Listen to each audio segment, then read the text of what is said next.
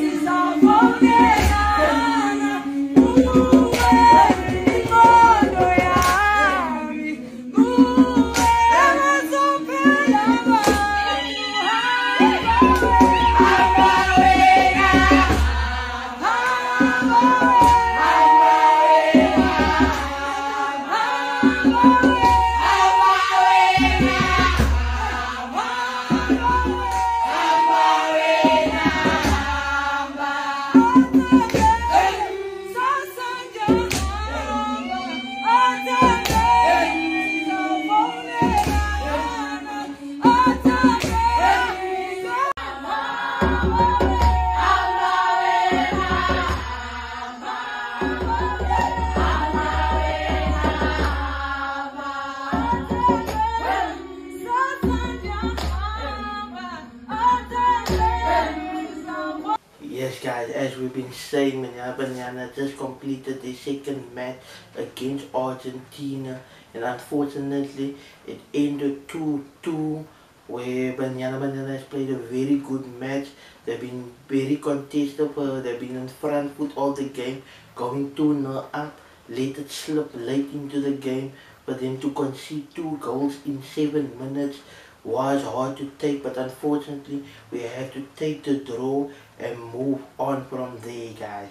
And then we know moving forward we saw that Sweden also managed to win Italy which means Banyana still have an opportunity to make it through to the knockout stages. So let's see how the group looks. And uh, currently on the group you would see on top of the group we have Sweden with six points Italy with three South Africa with one and Argentina with one. So which means mathematically we still have a chance to qualify for the knockout stages where we just have to win Italy in the last game.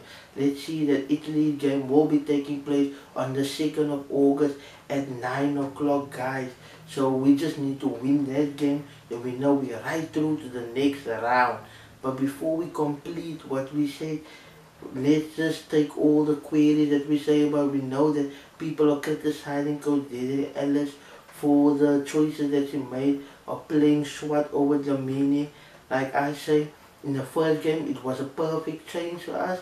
Reason why we needed someone to attack Sweden high ball, which Dlamini don't have but going into this last game, I think the best choice would be to start Dlamini because we really need a shot stopper as we see currently that we are on the back foot. There's no high balls, so we need someone that will will make sure that making brilliant saves while the game is closely contested. We see also has command of the back line, guys.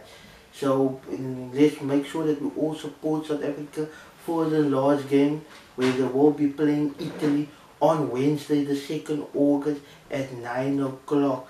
So please like this video, please subscribe if you're not subscribed and let's try to get this video to 40 likes and see you guys in the next one.